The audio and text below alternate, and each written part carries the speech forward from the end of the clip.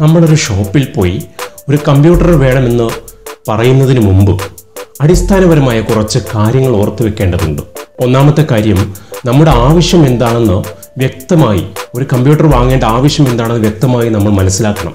നാം ഒരു കമ്പ്യൂട്ടർ വാങ്ങാൻ ഉദ്ദേശിക്കുന്നുണ്ടെങ്കിൽ അത് എന്തിനു വേണ്ടി ഉപയോഗിക്കുവാനാണ് എന്ന് ഉറപ്പുവരുത്തേണ്ടതുണ്ട്. ഉദാഹരണമായി അത്യാവശ്യം ഓഫീസ് വർക്കുകൾ ചെയ്യുക വീഡിയോ കാണുക ബ്രൗസിംഗ് ചെയ്യുക വീട്ടിലുള്ള കുട്ടികൾക്ക് അവരുടെ പഠനാവശ്യത്തിനോ പ്രൊജക്റ്റ് വർക്കുകൾക്കോ ഉള്ള അടിസ്ഥാന സോഫ്റ്റ്വെയറുകൾ കൈകാര്യം ചെയ്യുക തുടങ്ങിയവ. കമ്പ്യൂട്ടർ വാങ്ങുവാൻ ഉദ്ദേശിക്കുന്ന കൂടുതൽ ആളുകളും ഈ ഒരു കാറ്റഗറിയിൽ പെട്ടവരായിരിക്കും കമ്പ്യൂട്ടർ വാങ്ങാൻ ഉദ്ദേശിക്കുന്ന മറ്റൊരു വിഭാഗമുണ്ട്. അവർ ഗ്രാഫിക്സ് എഡിറ്റിംഗ് ഗെയിമിംഗ് തുടങ്ങിയ കാര്യങ്ങൾ ചെയ്യുവാൻ താല്പര്യമുള്ളവരും പ്രൊഫഷണലുകളുമായിരിക്കും അപ്പോൾ പ്രധാനപ്പെട്ട ഈ രണ്ട് കാറ്റഗറിയിൽ ഏത് വിഭാഗത്തിലാണ് നാം പെടുന്നത് എന്ന് കമ്പ്യൂട്ടർ വാങ്ങുന്നതിന് മുമ്പ് ഉറപ്പുവരുത്തേണ്ടതുണ്ട്. ഡെസ്ക്ടോപ്പ് ആയാലും ലാപ്ടോപ്പ് ആയാലും നേരത്തെ പറഞ്ഞ രണ്ട് വിഭാഗത്തിൽപ്പെട്ട ആളുകൾക്കും അനുയോജ്യമായ നിരവധി മോഡലുകൾ മാർക്കറ്റിൽ ലഭ്യമാണ്. ഒരു കമ്പ്യൂട്ടർ വാങ്ങാൻ തയ്യാറെടുക്കുമ്പോൾ രണ്ടാമതായി നമ്മൾ മനസ്സിലാക്കേണ്ട ഒരു പ്രധാനപ്പെട്ട കാര്യം എത്ര പണം നമ്മുടെ കയ്യിലുണ്ട്? കാരണം ഒരു നിശ്ചിത തുക ഫിക്സ് ചെയ്ത് വെച്ച് വിൽപ്പന നടത്തുന്ന ഒരു സാധാരണ ഇലക്ട്രോണിക് ഉപകരണമല്ല കമ്പ്യൂട്ടർ സിസ്റ്റം യൂണിറ്റിൽ ഉൾക്കൊള്ളിക്കുന്ന വിവിധ ഘടകങ്ങളുടെ മാറ്റം അനുസരിച്ച് ക്വാളിറ്റി അനുസരിച്ച് കമ്പ്യൂട്ടറിന്റെ മൊത്തം തുകയിൽ വലിയ വ്യത്യാസമുണ്ടാകും. ഇനി ബാക്കി കാര്യങ്ങളിലേക്ക് കിടക്കാം. ഒരു കമ്പ്യൂട്ടർ വാങ്ങാൻ ഉദ്ദേശിക്കുന്ന ഒരാൾ ഏറ്റവും അധികം പ്രാധാന്യം കൊടുക്കേണ്ടത് C P U motherboard memory monitor തുടങ്ങിയ പ്രധാനപ്പെട്ട കാര്യങ്ങൾക്കാണ്. അതുകൊണ്ട് തന്നെ ഈ കമ്പ്യൂട്ടർ ഘടകങ്ങളെക്കുറിച്ച് ഒരു ധാരണ നമ്മൾ ഉണ്ടാക്കേണ്ടതുണ്ട്. ഈ ഘടകങ്ങളെക്കുറിച്ചുള്ള അടിസ്ഥാന കാര്യങ്ങൾ നമുക്കൊന്ന് പരിശോധിച്ച് നോക്കാം. ഒരു പുതിയ പി സി വാങ്ങുകയാണെങ്കിലും നിങ്ങൾ നിലവിലുള്ള സിസ്റ്റം അപ്ഗ്രേഡ് ചെയ്യുകയാണെങ്കിലും സി പി യു വളരെയധികം പ്രാധാന്യം അർഹിക്കുന്നു. ഒരു കമ്പ്യൂട്ടർ വാങ്ങാൻ ഉദ്ദേശിക്കുന്നുണ്ടെങ്കിൽ ഏറ്റവും പ്രധാനമായി അതിന്റെ സി പി യുവിനെ കുറിച്ച് ഒരു കാഴ്ചപ്പാട് നമുക്കുണ്ടായിരിക്കണം. ഒരു കമ്പ്യൂട്ടറിന്റെ തലച്ചോറാണ് അതിന്റെ പ്രധാനപ്പെട്ട സി പി യു ഒരു സി പി യു തിരഞ്ഞെടുക്കുമ്പോൾ എന്തൊക്കെ കാര്യങ്ങൾ ശ്രദ്ധിക്കേണ്ടതുണ്ട്? ക്ലോക്ക് സ്പീഡ് ക്യാഷ് മെമ്മറി കോറുകൾ ഈ ഓരോ കാര്യങ്ങളെ കുറിച്ചും നമുക്ക് വിശദമായി പിന്നീട് ഒരു സന്ദർഭത്തിൽ വിശദീകരിക്കാം. ഇപ്പോൾ ഇതിന്റെ അടിസ്ഥാന കാര്യങ്ങൾ മാത്രമേ സൂചിപ്പിക്കുന്നുള്ളൂ. ഒരു പ്രൊസസ്സർ തിരഞ്ഞെടുക്കുമ്പോൾ പ്രധാനമായും നോക്കേണ്ട ഭാഗമാണ് പ്രൊസസ്സറിന്റെ സ്പീഡ് ഒരു സെക്കൻഡിൽ ഒരു പ്രൊസസ്സറിന് കൈകാര്യം ചെയ്യാനാവുന്ന കാര്യങ്ങളുടെ അളവാണ് ക്ലോക്ക് സ്പീഡ് ഉദാഹരണമായി ഒരു പ്രോസസ്സറിന്റെ ക്ലോക്ക് സ്പീഡ് മൂന്ന് ഗിഗാ ഹെഡ്സ് എന്ന് പറഞ്ഞാൽ ആ ഒരു പ്രോസസ്സറിന് സെക്കൻഡ് ഒരു സെക്കൻഡ് സമയം കൊണ്ട് മുന്നൂറ് കോടിയോളം ഇൻസ്ട്രക്ഷനുകളെ എക്സിക്യൂട്ട് ചെയ്യുവാൻ സാധിക്കും എന്നാണ് അർത്ഥം. ലളിതമായ ഒരു ഉദാഹരണത്തിലൂടെ പറഞ്ഞാൽ ഒരു മൂന്ന് ഗിഗാ ഹെഡ്സ് പ്രോസസ്സറിൽ ഒരു ക്ലോക്ക് ഉണ്ടെന്ന് കരുതുക. അത് ഒരു സെക്കൻഡിൽ ഏകദേശം മുന്നൂറ് കോടിയോളം തവണ ടിക്ക് ചെയ്യും. ഈ ഓരോ ടിക്കിലും ഓരോ പ്രവർത്തനങ്ങൾ നടക്കുന്നു. അതായത് ഡിജിറ്റൽ രൂപത്തിലാണ് പ്രോസസ്സറിന്റെ അകത്ത് പ്രവർത്തനങ്ങൾ നടക്കുന്നത്. ഇത് വൺ സീറോ എന്ന രണ്ട് അവസ്ഥകളാണ്. വൺ എന്ന് പറഞ്ഞാൽ ഓൺ അവസ്ഥയും സീറോ എന്ന് പറഞ്ഞാൽ ഓഫ് അവസ്ഥയും. അപ്പോൾ ഒരു സെക്കൻഡിൽ എത്ര ഓൺ ഓഫ് അവസ്ഥകൾ ഉണ്ടായി എന്നതിന്റെ അളവാണ് ഹെഡ്സ്. അപ്പോൾ മൂന്ന് ഗിഗാ ഹെഡ്സ് പ്രോസസ്സറിൽ മുന്നൂറ് കോടിയോളം തവണ ഓൺ ഓഫ് അവസ്ഥ ഉണ്ടാകുന്നു എന്ന് മനസ്സിലാക്കാം. ക്ലോക്ക് സ്പീഡ് കൂടുമ്പോൾ ഒരു പ്രോസസറിന് എക്സിക്യൂട്ട് ചെയ്യാവുന്ന ഇൻസ്ട്രക്ഷനുകളുടെ എണ്ണം വർദ്ധിക്കുന്നു. ഒരേ കാറ്റഗറിയിൽപ്പെട്ട പ്രൊസസ്സറുകൾ തമ്മിൽ താരതമ്യം ചെയ്യുമ്പോൾ മാത്രമേ ക്ലോക്ക് സ്പീഡ് പ്രധാന ഘടകമായി പരിഗണിച്ചിട്ട് കാര്യമുള്ളൂ. ഉദാഹരണമായി നമ്മുടെ കൈവശമുള്ള ഒരു വാഹനത്തിന് മണിക്കൂറിൽ പരമാവധി ഇരുന്നൂറ് കിലോമീറ്റർ സ്പീഡ് ഉണ്ടെന്ന് കരുതുക. എന്നാൽ ആ സ്പീഡ് ഉപയോഗപ്പെടുത്താനുള്ള റോഡുകളോ സാഹചര്യങ്ങളോ ഇല്ലെങ്കിൽ സ്പീഡ് കൊണ്ട് കാര്യമായ ഗുണമൊന്നും ഉണ്ടാകില്ല. ഇനി ഒരു പ്രൊസസ്സറിന്റെ കാര്യത്തിൽ അടുത്തതായിട്ട് നമുക്ക് മനസ്സിലാക്കേണ്ട കാര്യം നമ്മൾ നോക്കേണ്ട കാര്യം ക്യാഷെ മെമ്മറിയാണ് ഒരു സി പി യുവിന്റെ അകത്തുള്ള മെമ്മറിയാണ് ക്യാഷെ മെമ്മറി പ്രൈമറി മെമ്മറിക്കും പ്രോസസ്സറിനും ഇടയിൽ ഡാറ്റ കൈമാറ്റം നടക്കുന്നത് ക്യാഷെ മെമ്മറിയിലൂടെയാണ് പ്രൊസസ്സറിന് ഉടനെ ആവശ്യമുള്ളതെന്ന് സിസ്റ്റം അനുമാനിക്കുന്ന വിവരങ്ങൾ ഈ പ്രാഥമിക മെമ്മറിയിൽ നിന്നും ക്യാഷെ മെമ്മറിയിലേക്ക് ശേഖരിക്കപ്പെടുന്നു. കമ്പ്യൂട്ടറിന്റെ കാര്യക്ഷമത വർദ്ധിപ്പിക്കുക എന്നതാണ് ഇതിന്റെ പ്രവർത്തന ലക്ഷ്യം.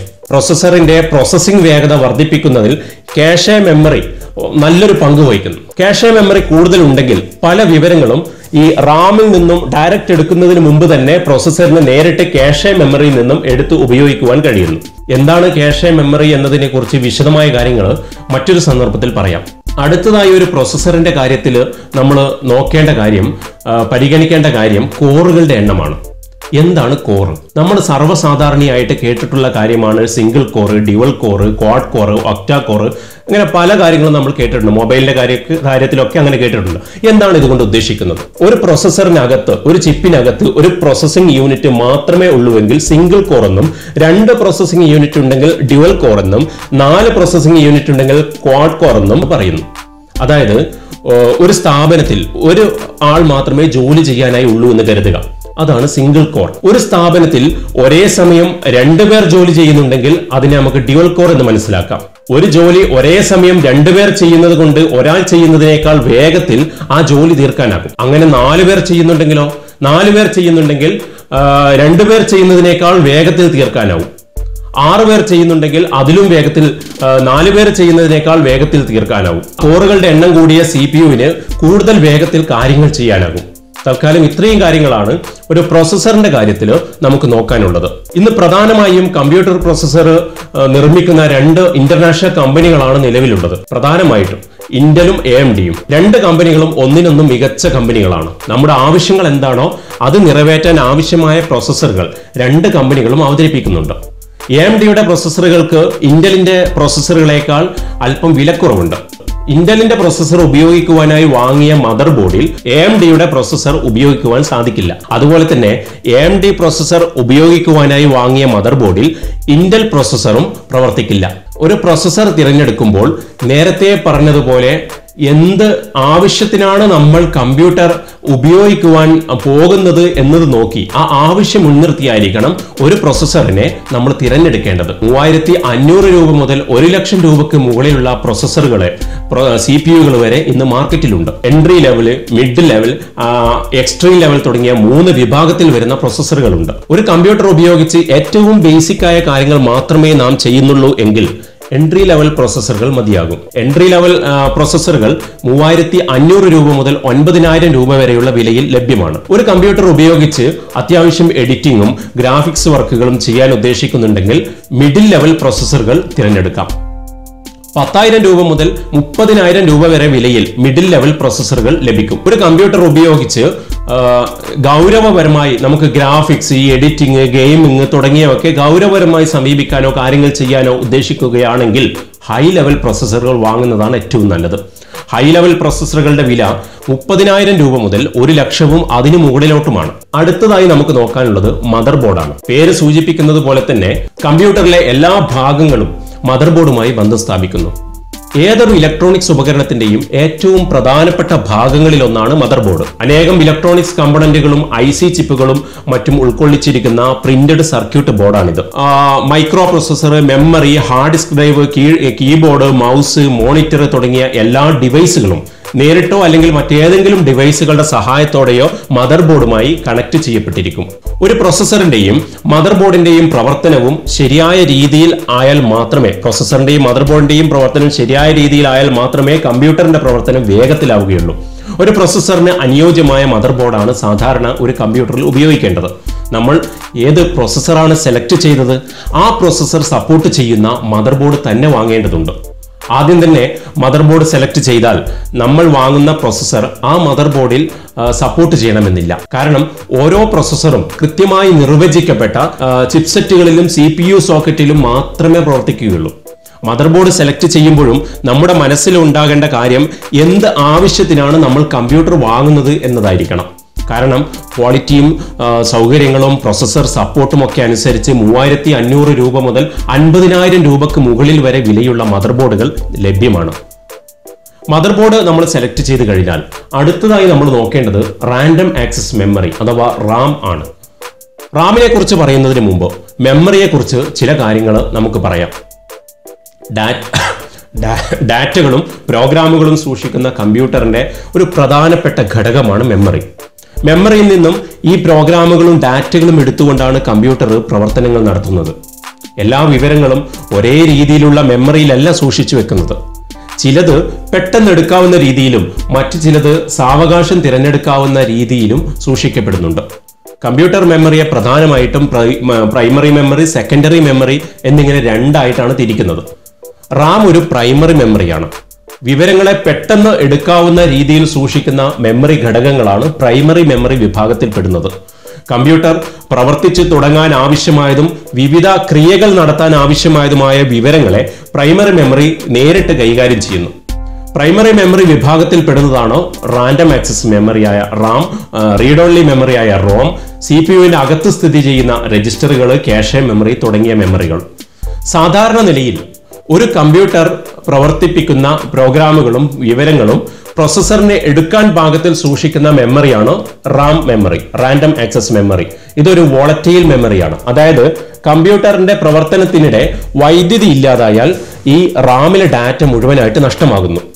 വൈദ്യുതി ഇല്ലാതായാലും ഡാറ്റ നഷ്ടം സംഭവിക്കാത്ത ഡാറ്റയുടെ നഷ്ടം സംഭവിക്കാത്ത തരത്തിലുള്ള പ്രൈമറി മെമ്മറി സംവിധാനങ്ങൾക്ക് വേണ്ടിയുള്ള ഗവേഷണങ്ങൾ ഇപ്പോഴും തുടർന്നുകൊണ്ടിരിക്കുകയാണ്. ഒരു ഡിജിറ്റൽ കമ്പ്യൂട്ടർ പ്രവർത്തിച്ചു തുടങ്ങാൻ ആവശ്യമായ ബയോസ് ബേസിക് ഇൻപുട്ട് ഔട്ട്പുട്ട് സംവിധാനം പൊതുവെ റോം മെമ്മറിയിലാണ് സംഭരിക്കുന്നത്. ഇത്രയും പറഞ്ഞതിൽ നിന്ന് റാമിന്റെ പ്രാധാന്യം ഈ റാം കമ്പ്യൂട്ടറിന്റെ ഏറ്റവും അത്യാവശ്യമായ ഘടകങ്ങളിൽ ഒന്നാണ് എന്ന് മനസ്സിലായിട്ടുണ്ടാകുമല്ലോ ആ റാമിന്റെ തിരഞ്ഞെടുപ്പിലും അല്പം ശ്രദ്ധിക്കേണ്ടതുണ്ട്. D D R three D D R four എന്ന രണ്ട് വിഭാഗത്തിൽപ്പെട്ട റാമുകളാണ് ഇന്ന് പ്രധാനമായിട്ടും ഉള്ളത്. അതിൽ ബേസിക് ആയ കാര്യങ്ങൾ ചെയ്യാൻ വേണ്ടി മാത്രമാണ് നമ്മളൊരു കമ്പ്യൂട്ടർ വാങ്ങാൻ ഉദ്ദേശിക്കുന്നത് എങ്കിൽ D D R three RAM മതിയാകും.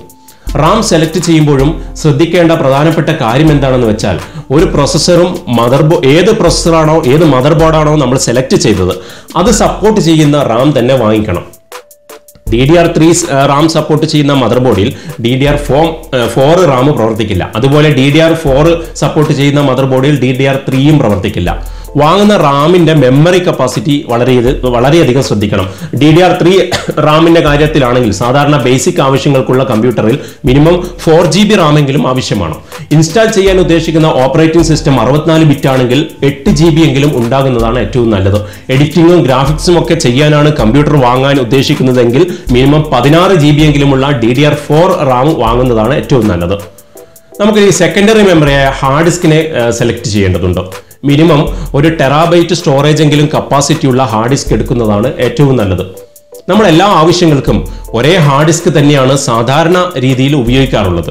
അതായത് ഒരു ടെറാബൈറ്റ് ഹാർഡ് ഡിസ്ക് എന്ന് പറഞ്ഞാൽ ബേസിക് ആയ ആവശ്യങ്ങൾക്കുള്ള പി സിയിലും ഗ്രാഫിക്സ് ആവശ്യങ്ങൾക്കുള്ള പി സിയിലും ഒരേ ഹാർഡ് ഡിസ്ക് തന്നെയാണ് സാധാരണ ഫിറ്റ് ചെയ്യാറുള്ളത്. അത് ശരിയല്ല.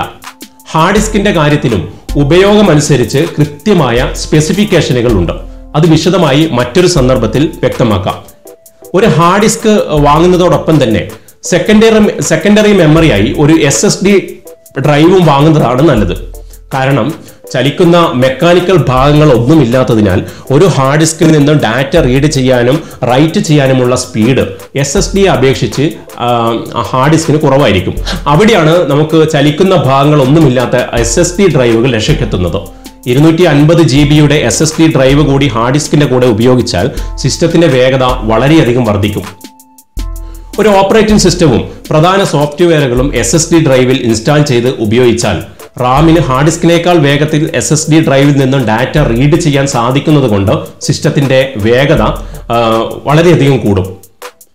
ഇനി നമുക്ക് ക്യാബിനറ്റിന്റെ കാര്യം ആലോചിക്കാം. ക്യാബിനറ്റ് തിരഞ്ഞെടുക്കുന്ന കാര്യം നമുക്കൊന്ന് ആലോചിച്ച് നോക്കാം. കമ്പ്യൂട്ടറിലെ വിവിധ ഹാർഡ്വെയർ ഘടകങ്ങളെ സുരക്ഷിതമായി ഉൾക്കൊള്ളുന്ന ഒരു സംരക്ഷണ കവചമാണ് ക്യാബിനറ്റ്. സാധാരണ ക്യാബിനറ്റിനെയാണ് എല്ലാവരും സി പി യു എന്ന് പറയാറുള്ളത്. എന്നാൽ അത് ശരിയല്ല. ക്യാബിനറ്റ് അതിനകത്ത് നിരവധി ഘടകങ്ങളിൽ ഒന്ന് മാത്രമാണ് സി പി യു എന്ന് പറയുന്നത്. ക്യാബിനറ്റിന്റെ നമ്മൾ സിസ്റ്റം യൂണിറ്റ് എന്ന് പറയുന്നതാണ് ശരിയായ രീതി. കമ്പ്യൂട്ടറിലെ വിവിധ ഘടകങ്ങൾക്ക് കൃത്യമായ അളവിലുള്ള ഡി സി വൈദ്യുതി ഉറപ്പുവരുത്തുന്ന എസ് എം ബി എസ് എന്ന പവർ സപ്ലൈ യൂണിറ്റ് ക്യാബിനറ്റിലാണ് ഘടിപ്പിക്കുന്നത്. ബേസിക്കായ ഉപയോഗത്തിനുള്ള പി സി ആണെങ്കിൽ പവർ സപ്ലൈ അടക്കം രണ്ടായിരം രൂപ വരെ വിലയുള്ള ക്യാബിനറ്റ് മതിയാകും. എന്നാൽ ഗ്രാഫിക്സ് ആവശ്യങ്ങൾക്കുള്ള പി സി ആണെങ്കിൽ പവർ സപ്ലൈ അടക്കം അയ്യായിരം മുതൽ പത്തായിരത്തിന്റെ മുകളിലോട്ട് വിലയുള്ള ക്യാബിനറ്റ് തന്നെ വേണ്ടിവരും. അതിനുശേഷം ഇൻപുട്ട് ഉപകരണങ്ങളായ മൗസ് കീബോർഡ് തുടങ്ങിയവ നമുക്ക് ആവശ്യാനുസരണം തിരഞ്ഞെടുക്കാം. ഇനി നമ്മൾ നോക്കേണ്ടത് ഏറ്റവും പ്രധാനപ്പെട്ട ഔട്ട്പുട്ട് ഉപകരണമായ മോണിറ്റർ സെലക്ട് ചെയ്യാനാണ്. ബേസിക് ആവശ്യങ്ങൾക്കുള്ള കമ്പ്യൂട്ടർ ആണെങ്കിൽ ഇരുപത് ഇഞ്ചിനോട് അടുത്ത് വലിപ്പമുള്ള ഒരു എച്ച് ഡി മോണിറ്റർ മതിയാകും. എന്നാൽ ഗ്രാഫിക്സ് വർക്കിനുള്ള കമ്പ്യൂട്ടർ ആണെങ്കിൽ അത് മതിയാകില്ല.